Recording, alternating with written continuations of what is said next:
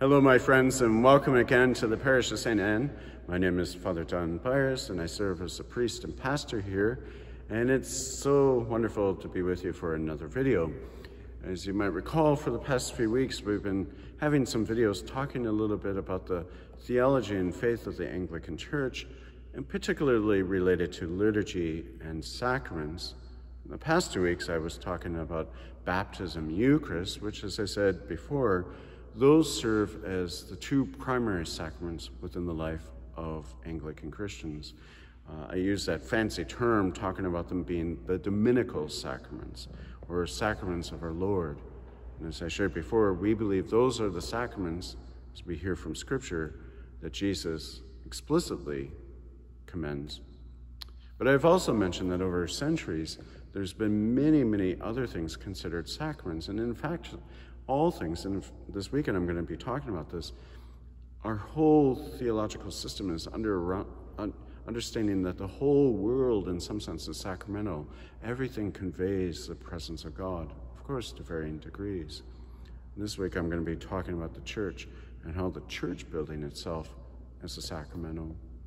But before I say more, I want to talk a little bit this week about, start now talking about some of the other sacraments. As you know, Anglicans are very much similar to Roman Catholics and Orthodox in that we do believe that in seven sacraments, or we hold seven sacraments. Uh, so we have the two, but then we have five others that, while we consider sacramental, we wouldn't necessarily say are explicitly taught by Jesus himself. That can be debated. In fact, sometimes Roman Catholics will argue otherwise.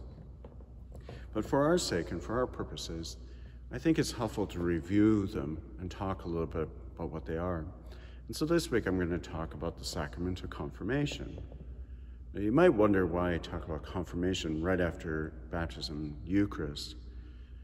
Well, historically, and throughout the church's history, even to today, many Christian churches understand baptism, confirmation, and Holy Eucharist as the sacraments of initiation. They are the sacraments by which you and I become members of Christ's body, the church, that we become another Christ in the world. And that every time we receive baptism, our identity as Christ is deepened and strengthened.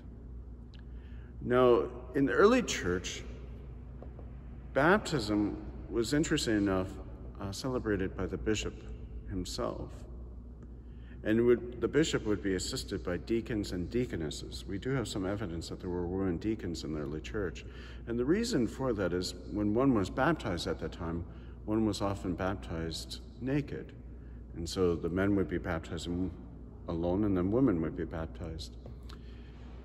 But the bishop was always the one who conferred the sacrament of baptism at that time. It wasn't until a little bit later in church's history that priests began to celebrate baptism, at least in the West. And in the Western Christian church, what had occurred as soon as the church grew and got larger, it became much more difficult for the bishop to baptize every child or to be present with everyone. So priests slowly took on the ministry of bishop in baptizing and a child. Now, there became a concern because we understand, even to this day, that the bishop is the chief pastor of the local church. And so, even I, as a priest, I only function by the grace of the bishop, that my ministry is the ministry of the bishop. I do as the bishop instructs me to do.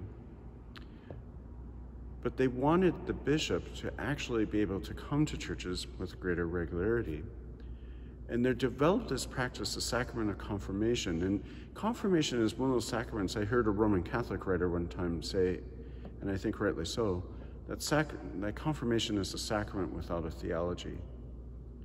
But what has often been placed is that sacrament, confirmation is a sacrament in which you and I are strengthened by the Holy Spirit. We receive the gift of the Holy Spirit. Now, that's slightly problematic because when you are baptized, you do receive the gift of the Holy Spirit. And we have a lingering hint of the time when confirmation was very much a part of the sacrament of baptism. And that if you go to a baptism today in the Anglican Church and the Roman Catholic Church, you will notice that the priest will anoint the child or the adult and will confirm them and tell them to receive of the Spirit. This, again, is a, a piece of that celebration that is a hangover from the time when the bishop used to do it. But as the bishop no longer celebrated the bishop would come back to churches to do that act to anoint and confirm the Christians of a parish. And so typically, in many places, either once a year or maybe even once two or three years, the bishop would come to a parish and would confirm all those persons that were baptized during that period of time, confirm them in the faith. He would give them the Holy Spirit. And so, day day, that still continues actually in the Anglican Church at least. In the Anglican Church, only a bishop may actually confirm.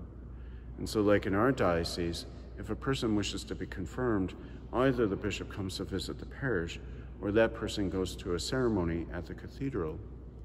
And again, we understand that confirmation is the sacrament by which one receives the Holy Spirit, is strengthened with it, fortified with the Spirit, so as to live the faith.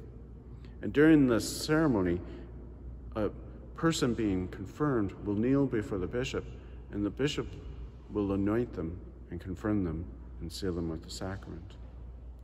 So the sacrament of confirmation is all about the Holy Spirit, the work of the Holy Spirit in the life of the church. And it strengthens us. Now, one final point here. At least in the Anglican Church of Canada, one doesn't actually have to be confirmed. We believe that you are a full member of the body of Christ upon reception of baptism. The only ones that are ever expected to be confirmed are those of us who go ahead for holy orders, for, for deacon, priest, and bishop. Otherwise, most Christians aren't called to. You're invited to, you're welcome to receive confirmation.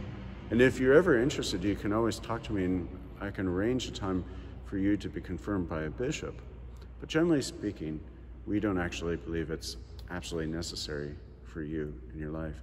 And we'll get into that more even with some of these other sacraments. The sacraments I'm going to talk about now aren't those that are what we believe to be absolutely essential to the life of every Christian, but rather sacraments that deepen our relationship and our identity as another Christ. My friends, as always, I welcome, to, welcome you to St. Anne's.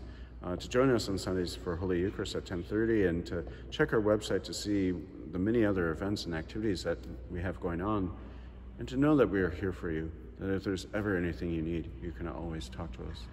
May God bless you, may God keep you, and may God let his face shine upon you always. Take care, and God bless.